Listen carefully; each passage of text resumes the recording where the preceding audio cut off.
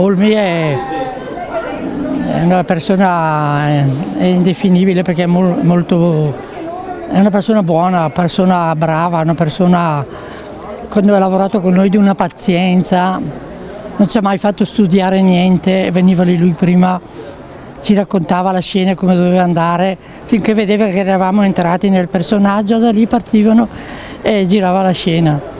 Ho studiato a memoria solo la parte che quando vado in chiesa a pregare Gesù, perché, fa, perché là c'è un crocifisso in quella chiesa, a pregare Gesù perché mi guarisse la mucca. Lì ho dovuto studiarlo un po', un po', perché di solito lo imparo così subito perché ho una buona memoria. Ero molto emozionata perché quella scena io l'avevo vissuta realmente a casa mia, era successo anche a casa mia, che hanno chiamato il prete a benedire e lei un cavallo invece che la mucca e che si è alzato in piedi. E quando ho girato, perché mi diceva le cose al momento, non lo sapeva che c'era anche questa scena, perché altrimenti gliel'avrei raccontato che anche noi avevamo.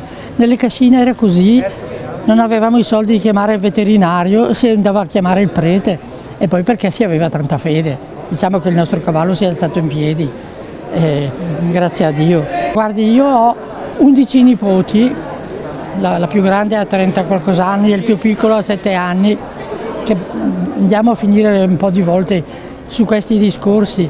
Gli dico, non voglio che voi abbiate a vivere questa vita che abbiamo vissuto noi, però imparate da noi ad avere un po' più di pazienza, un po' più di umiltà, che si può avere tutto, la prepotenza, l'arroganza, il bullismo specialmente, sono cose che fa male, fanno male a tutti, capito? Ecco, vorrei insegnare questo, di essere un po' più, più buoni, volersi bene, rispettare le persone, questo vorrei.